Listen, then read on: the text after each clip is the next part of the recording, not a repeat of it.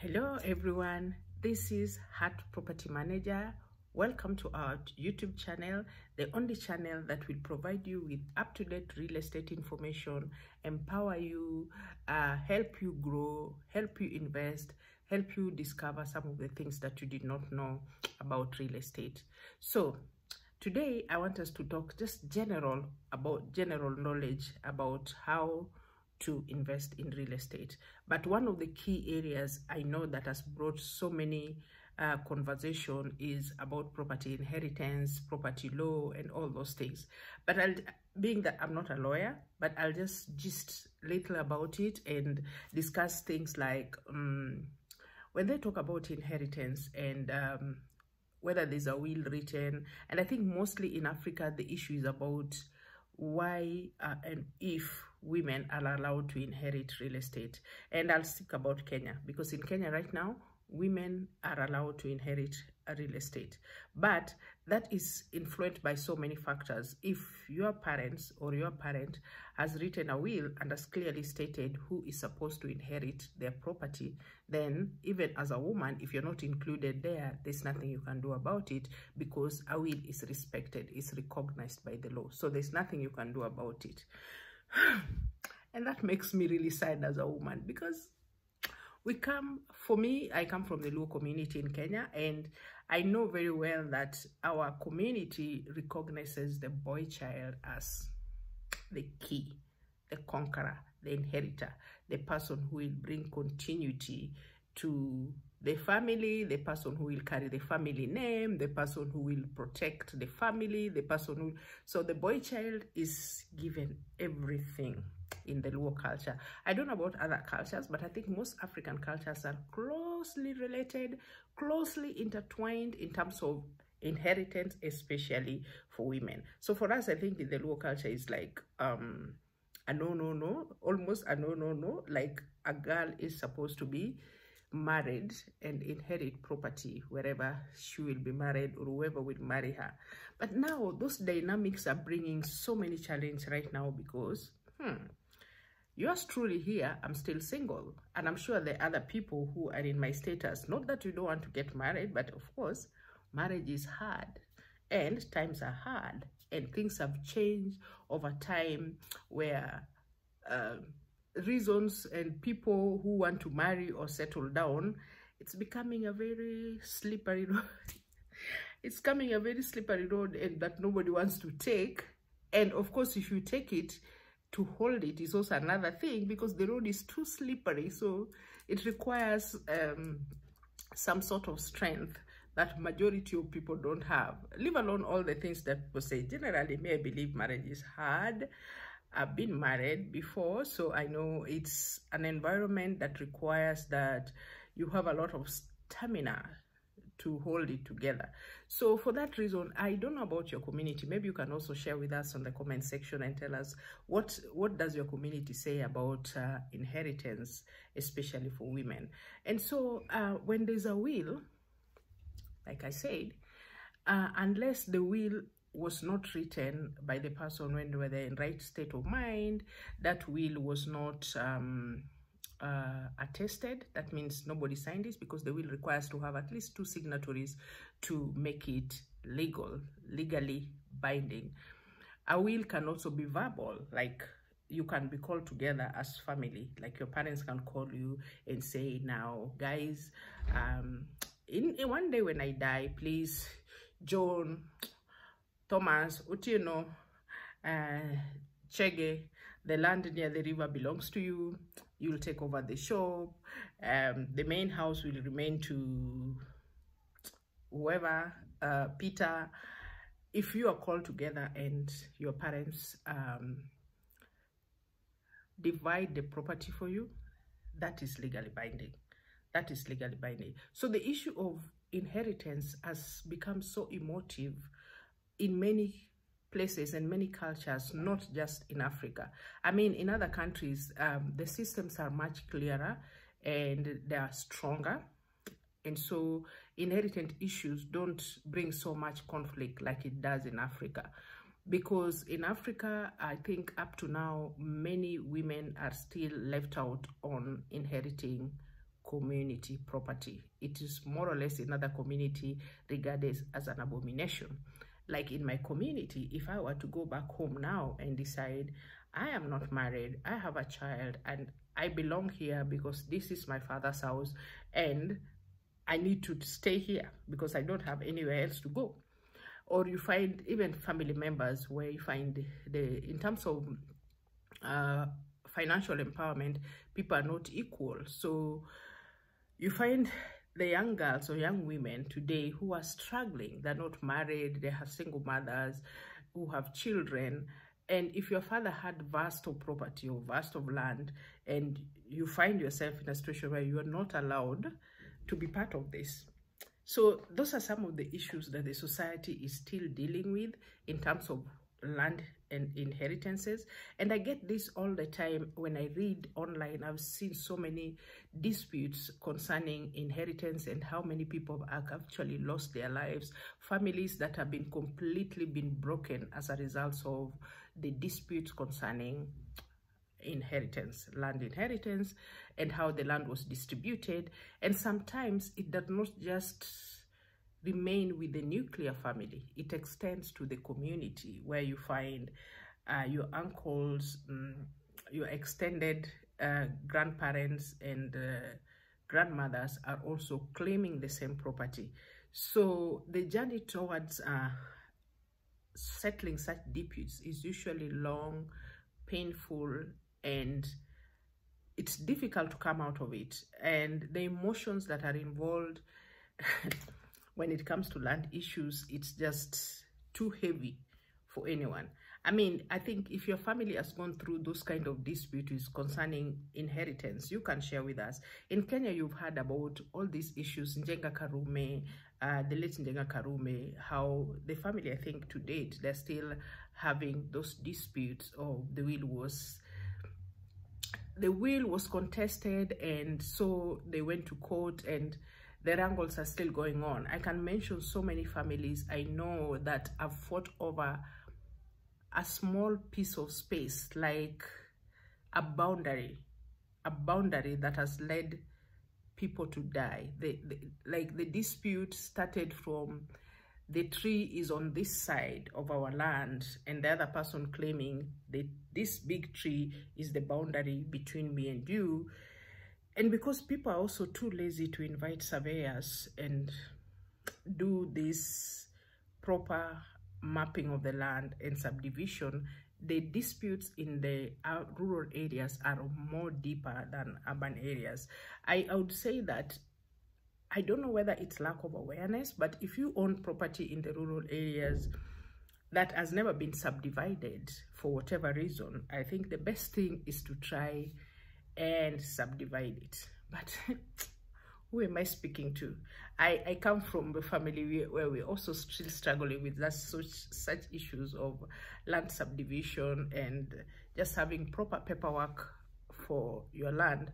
The problem with that is there are people in this country who basically live, feed, and eat, and relax and enjoy courtesy of finding properties that are not belonging to anyone.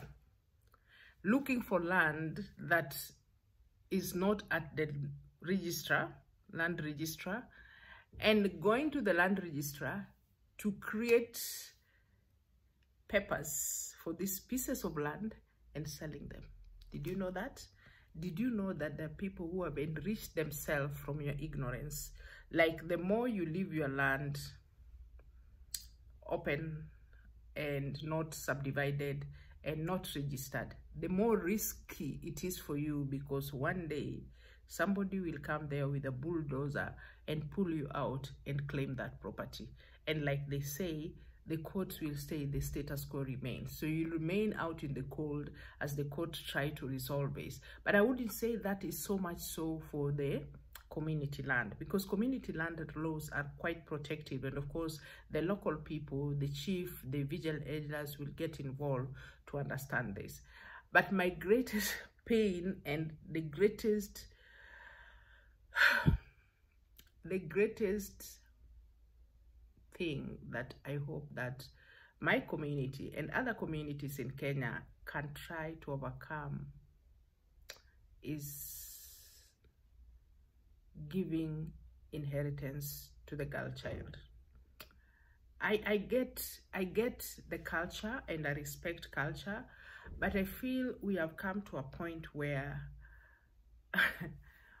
we need to be cognizant that not everyone is going to be married. And when they don't get married, where do they belong? Who where where do they belong? Where they're supposed to go apart from their own homes where they were born. And as parents i think if you're watching this as a parent um, you should be asking yourself as a father or as a mother that if you have three daughters and you die and you do not bequeath this land to them on a written will and they don't get married are you being fair? Are you really being fair to your children I don't think it is fair to use culture to try and deny your children their rights.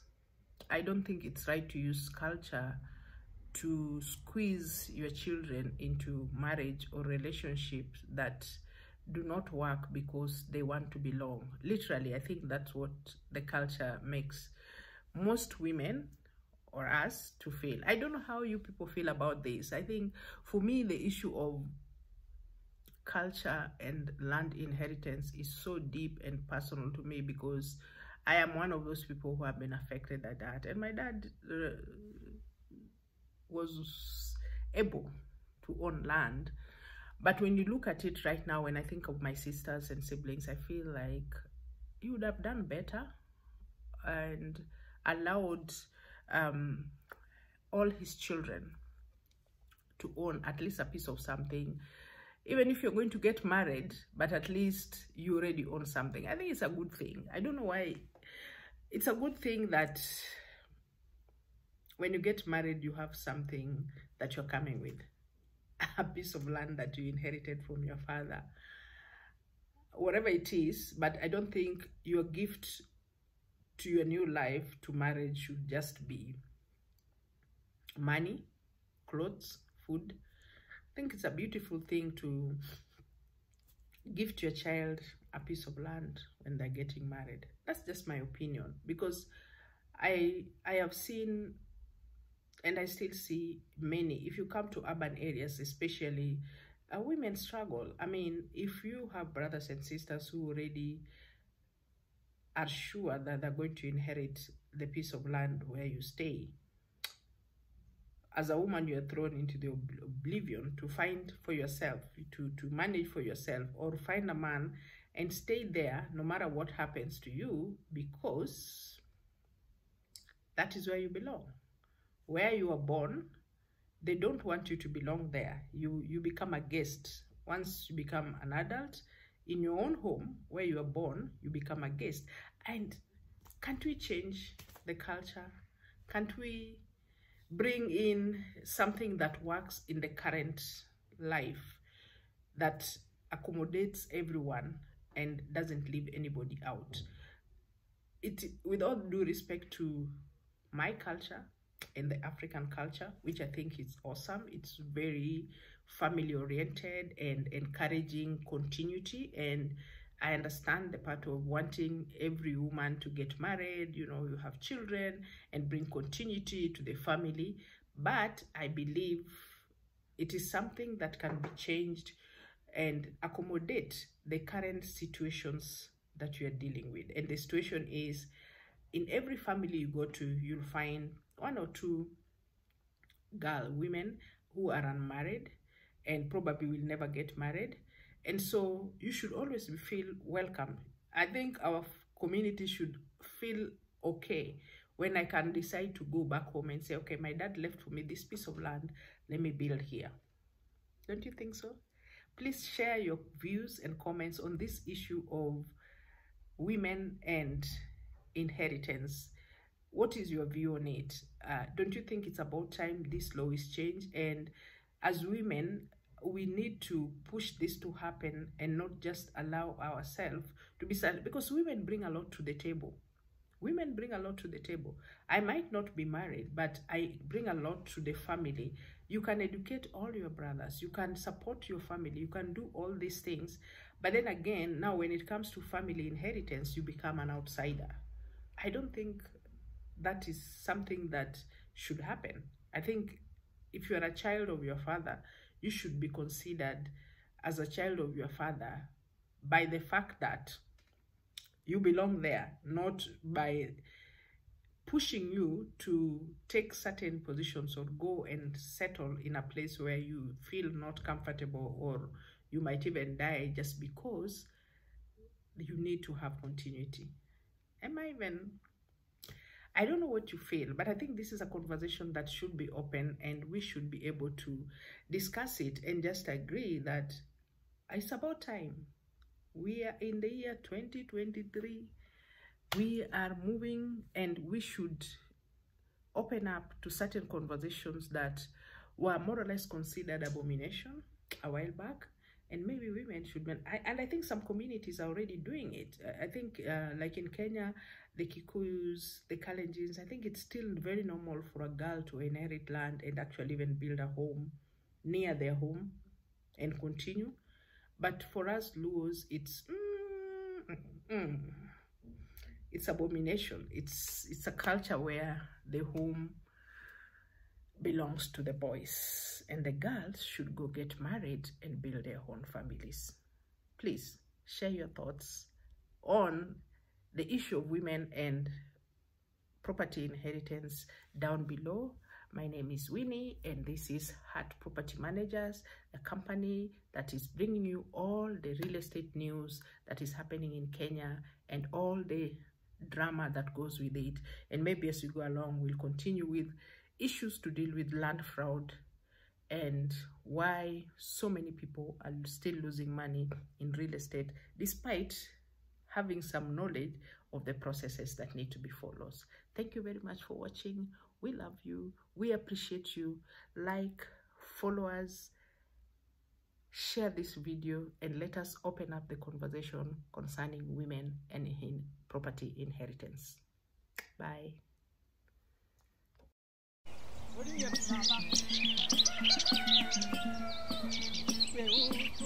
you.